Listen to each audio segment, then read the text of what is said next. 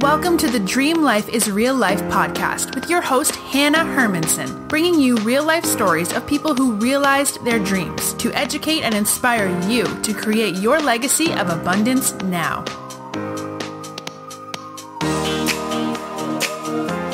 We're back, and today we are hanging out with Erin Wathen. Erin is a holistic coach, food based counselor or food abuse counselor and the inspiring author of Why Can't I Stick to My Diet? How to End the Food Drama. Her philosophy philosophy, simply put, health isn't a number on the scale or how often we exercise, but our lives as a whole. Several years ago, Erin was not at peace with her body, despite her wealth of knowledge on diet and exercise. She was always on a diet and yet never reached her goal weight. As a graduate of the Institute of Integrative Nutrition and a food addiction counselor, Erin was well versed in the science behind health. As a certified spin instructor, vinyasa yoga teacher, me too, and classical Pilates instructor, she understood the mechanics of health and fitness as well. Through a lot of trial and error, Erin found true nutrition to be the missing piece of the puzzle.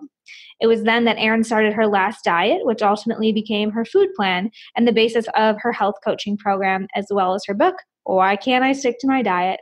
The book is currently available online at Amazon and bookstores everywhere. Welcome, Erin.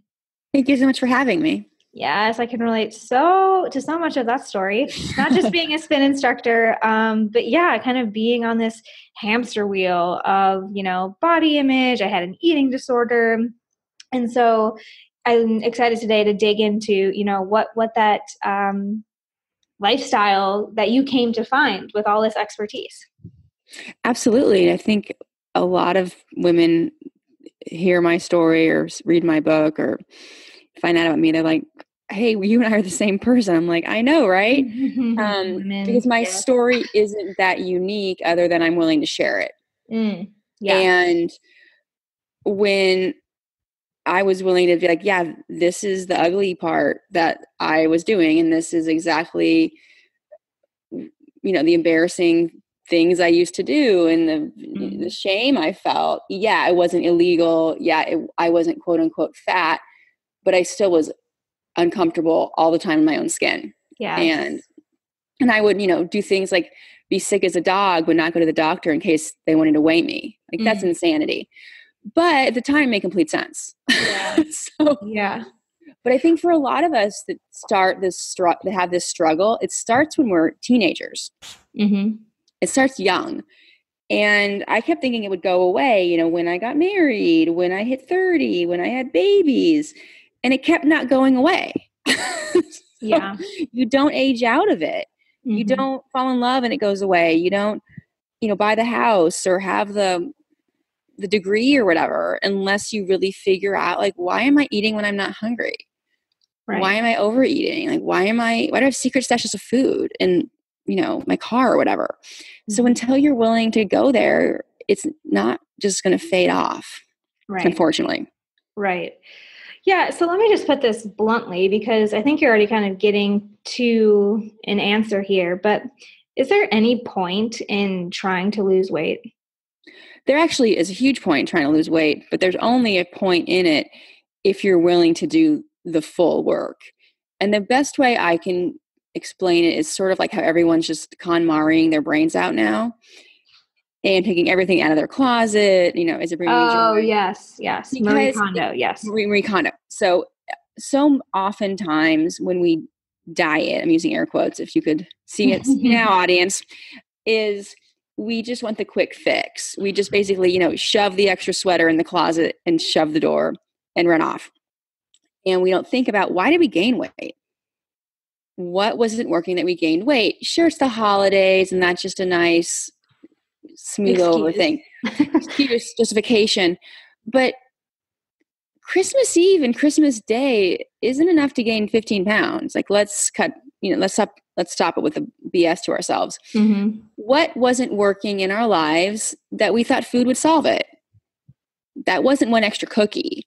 That was continually looking at food in the wrong way. That was our emotions. That was something bigger than one extra, you know, piece of cake or whatever. So, unless we're willing to change how we handle the world, how we look at food. And it could be something we don't want to deal with, such as maybe we really don't like our job or we really need to have that uncomfortable conversation with our boyfriend.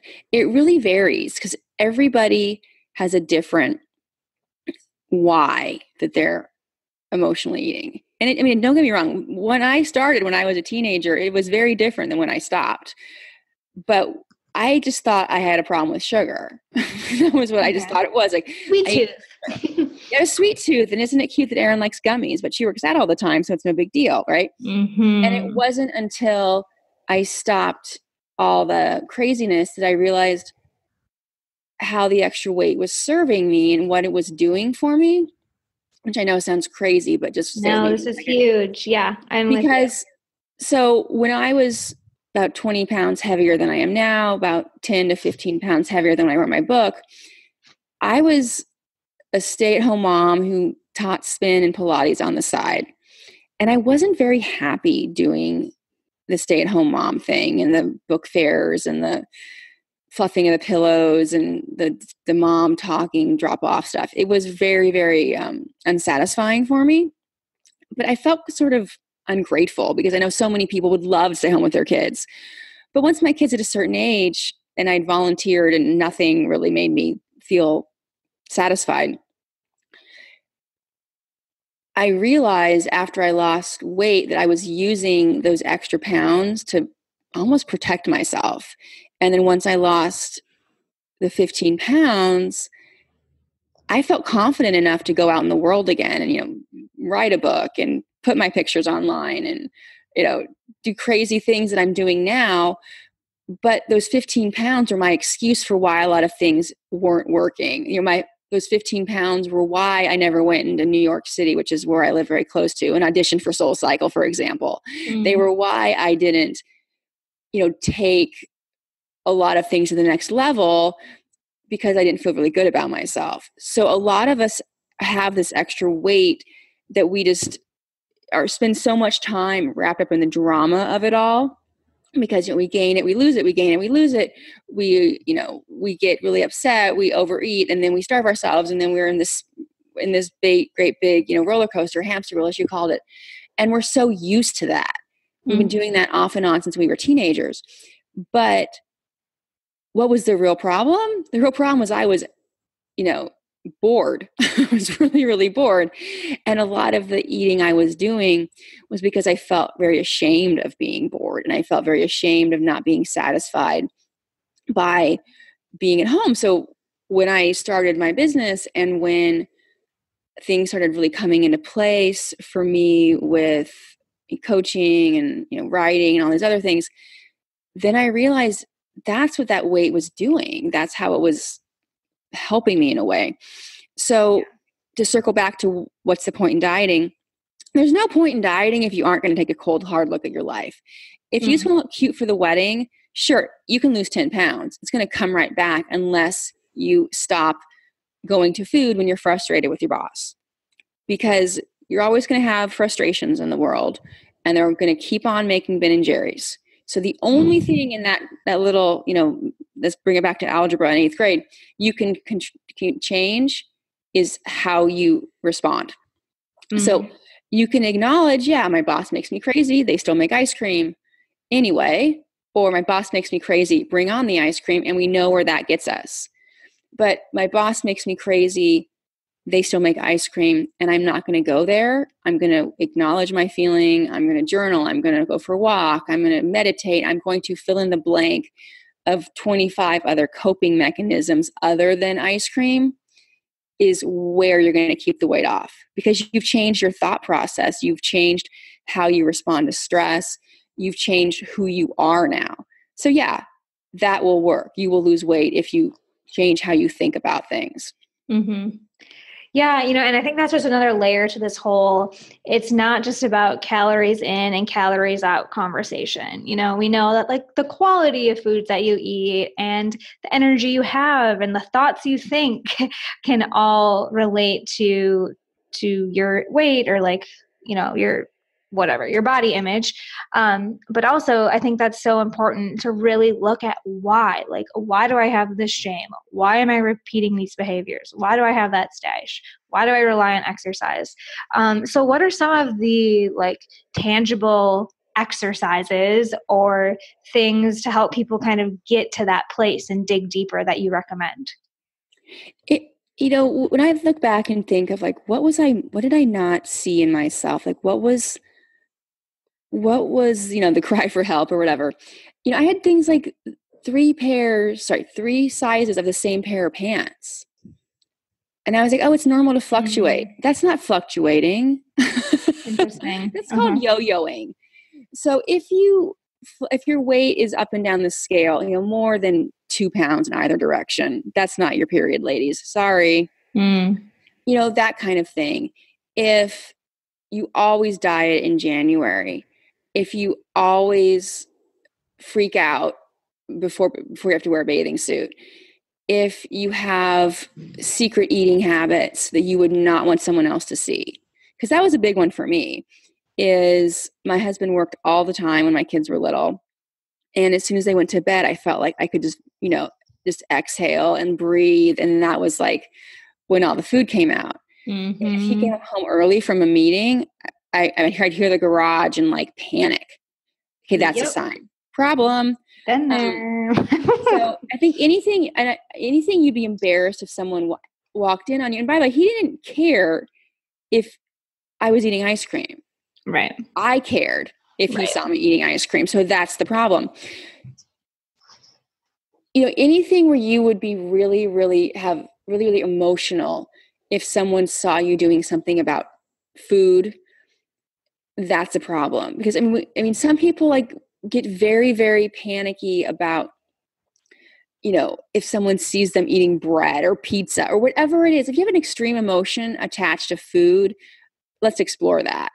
Because ideally, what I get my clients to is I've said food neutral. Like, I don't live for food anymore. I don't get excited about food. I'm also not scared of it.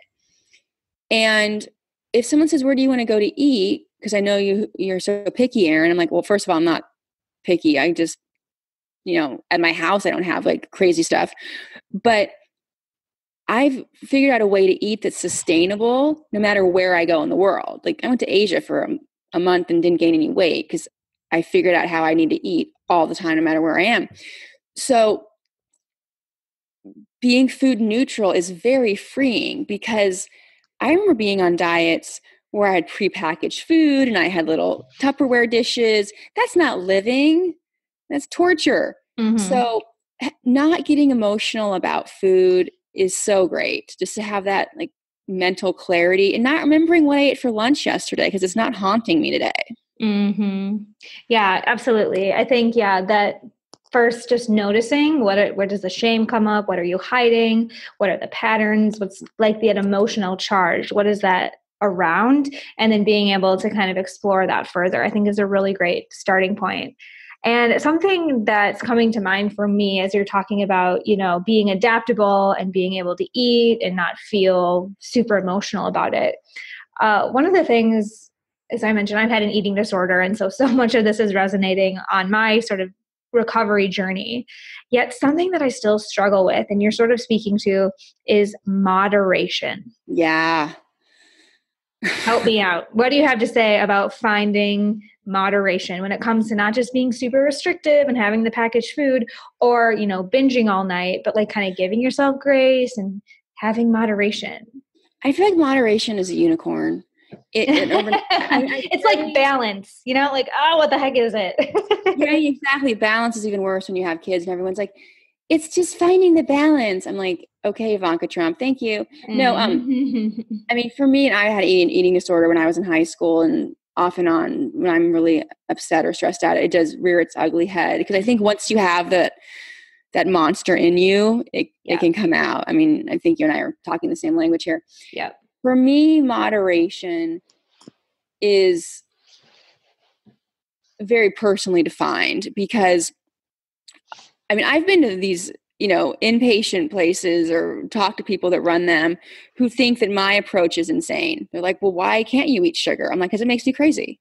Mm. Like, what's wrong with a little bit of sugar? I'm like, well, first of all, it's completely genetic modified and it makes you go nuts and it, you know, on and on and on and on and on. And they just completely disagree with me. And I'm like, I can show you studies of rats' brains and I can do this, that, and the other. I just know for myself if I have sugar, meaning, you know, a bag of candy, for example, not, not I'm talking about fruit. I don't like how I feel afterwards. Mm-hmm. So for me, I just know how I want to feel tomorrow and the next day and the next day. So, and I feel like I've kind of had my lifetime supply of sugar already, but I'm fine, you know, if it's my kid's birthday, yeah, I'll have like a bite of their cake, but I'm not going to raid their candy on Halloween like I used to mm-hmm. because I don't do moderation well with that. And when I used to work for um, Weight Watchers a million years ago, they're really, really big on moderation. And I know they still are. They really sell moderation hard.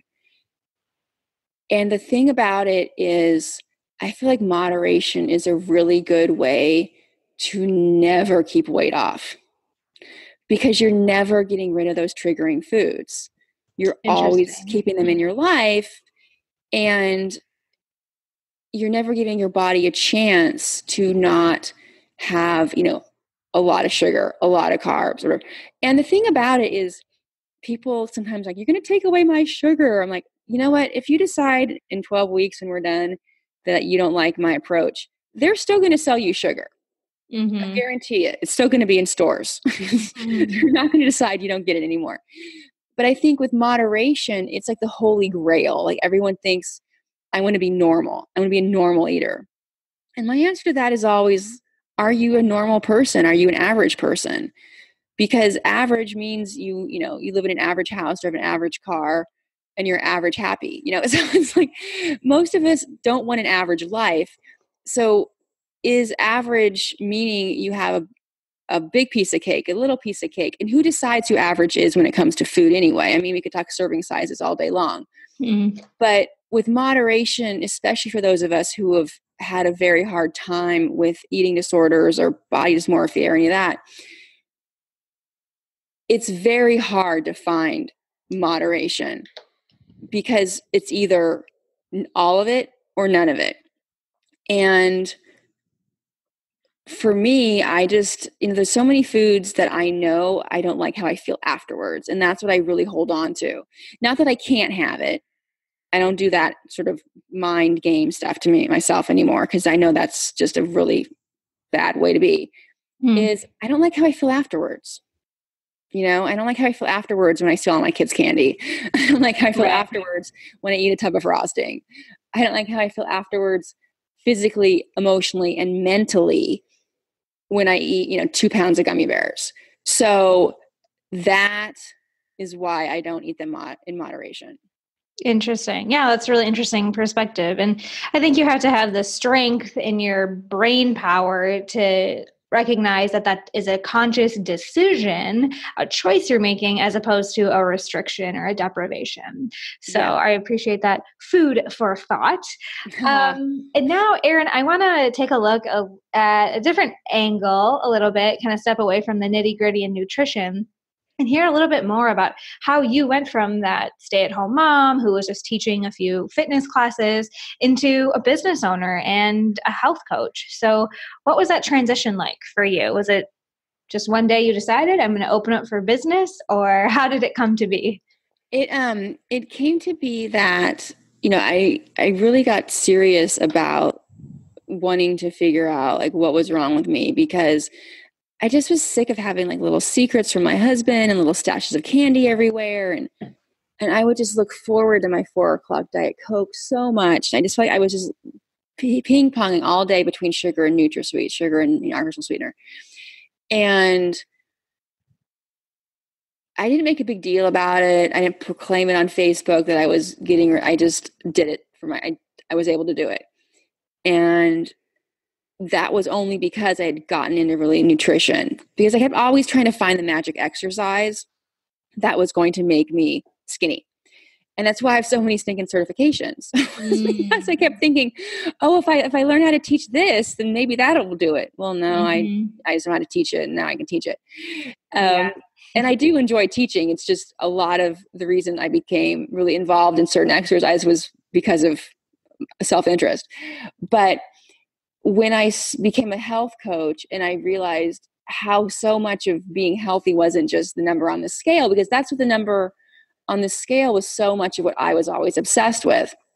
And if I had the magic number, then life would be perfect. Well, that's what I thought, right?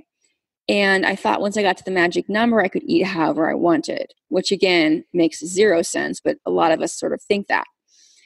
And when I learned about other types of ways people eat, you know, veganism or macrobiotics and all these different food theories, and I really was able to figure out how to eat that wasn't dieting, just how to live. Because I'd never really been living. I'd always been dieting or need, or eating in a way that was going to require me to go on a diet. Mm. And that was like the first big like, education step.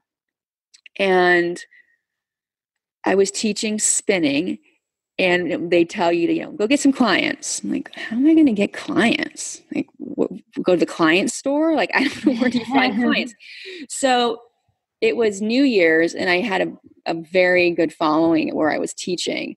And mm. they they emailed me all the time, hey, can you play, you know, this song? It's my birthday on Tuesday or whatever. And I said, hey, you guys, um, I'm starting this business. I just need testimonials.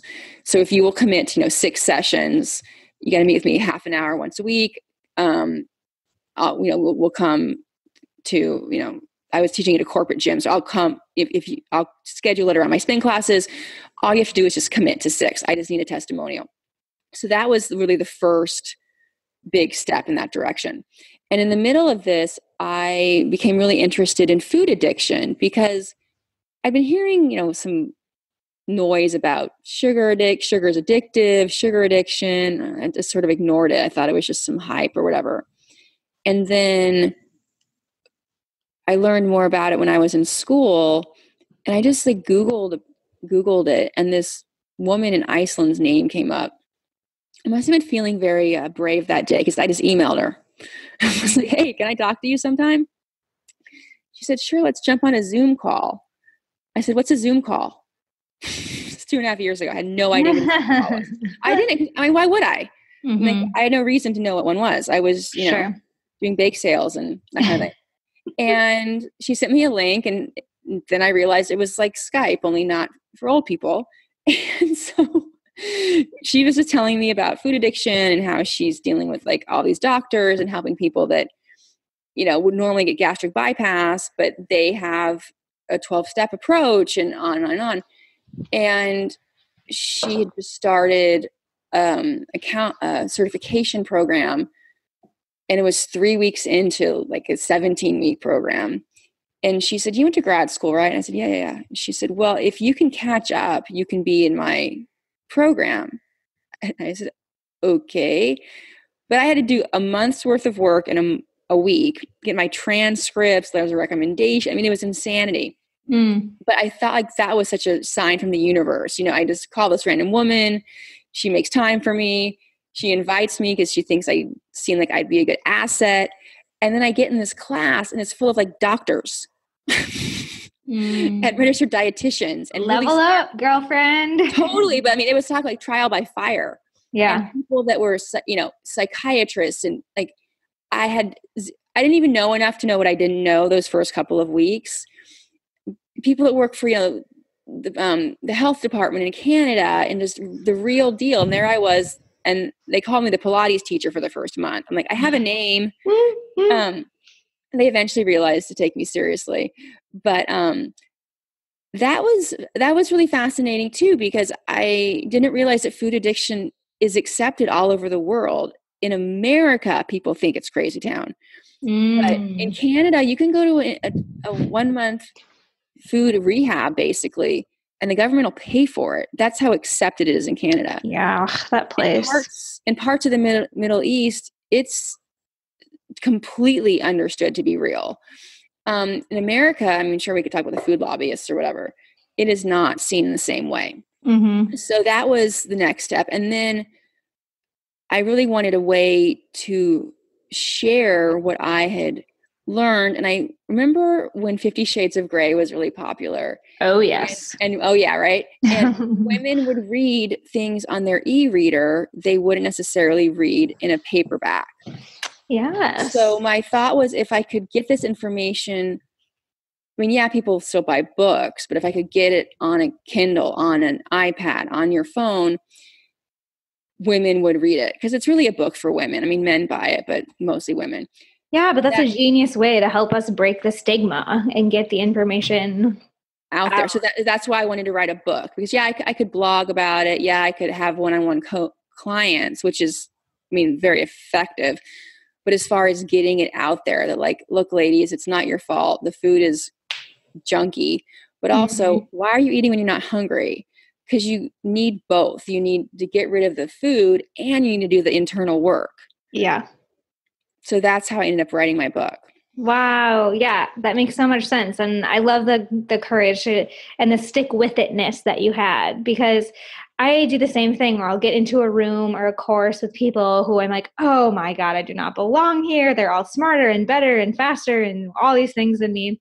And if you have the stick with itness, you quickly find like, but I've been like living with this for my whole life. So I am an expert. And you, you know, that that really beats down that imposter syndrome so often is to just stick with it and own your story, like you said at the beginning. So we are going to transition into a little bit of a pop quiz. Uh-oh. Are you ready? I if you did one month and one week, you can do this.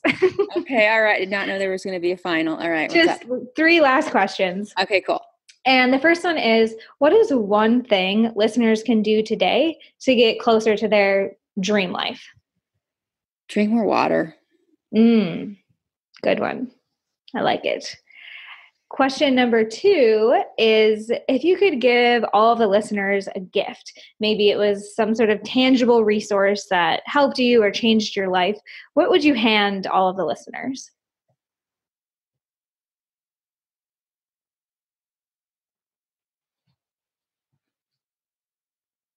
Are you still thinking? I'm thinking. Sorry, that doesn't. okay. I would. I would definitely say a journal so they could just keep track of their thoughts. Mm. I think, you know, I guess so I guess a pen and a journal. So I got two gifts because that, you know, being really, really honest with yourself, writing it down, and it's not, your phone is not the same thing. Your computer's not the same thing. There's something tactile about writing it and then look back on it and, and the ability to reflect is priceless. Mm, beautiful. And I really strongly encourage everyone to start doing that. Yes. Very good. The last question, Erin, is where can people stay connected with you and learn more about what you do and get your book? uh, my book is on Amazon. It's also in bookstores and barnesandnoble.com. And my website and my social handles are all the same thing. And it's Erin Wathen Wellness, one word. W A T H E N, right? Yes, W A T H E N. Uh, awesome. Well, Erin, I so appreciate your vulnerability, your honesty, and sharing your time and expertise with us today. Thank you so much for inviting me. It was fun. Yeah, well, folks, I will be back next week. You know it with another inspiring guest to help you make your dream life your real life. You've been learning how to make your dream life your real life with Hanna Hermanson.